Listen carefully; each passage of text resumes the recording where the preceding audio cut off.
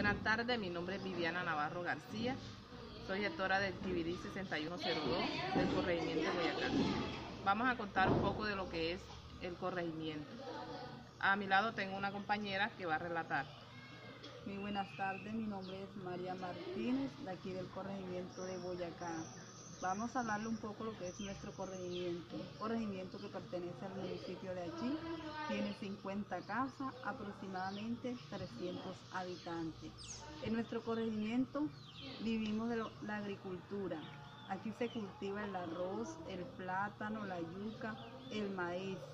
Cuenta con unos sitios sagrados como una iglesia católica en el cual se festejan las fiestas patronales el 13 de junio en una capilla cristiana.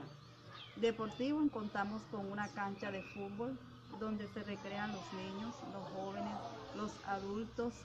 También hay unos sitios turísticos, unas cascadas muy hermosas en el cual son muy visitadas, una ciénaga donde se pescan los pescados que se consumen aquí en nuestro corregimiento y otras regiones que quedan cerca.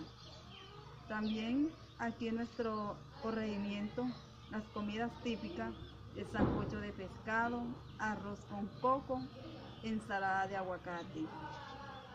Eh, también quiero decirles que aquí somos personas muy humildes, un corregimiento que a pesar de todo queda bastante lejos, pero vivimos muy felices aquí. Somos personas humildes, trabajadoras, y que acogemos a las personas que vienen de afuera con mucho cariño y amor. Por último, quiero decirles que los invitamos a conocer nuestro corregimiento. Gracias.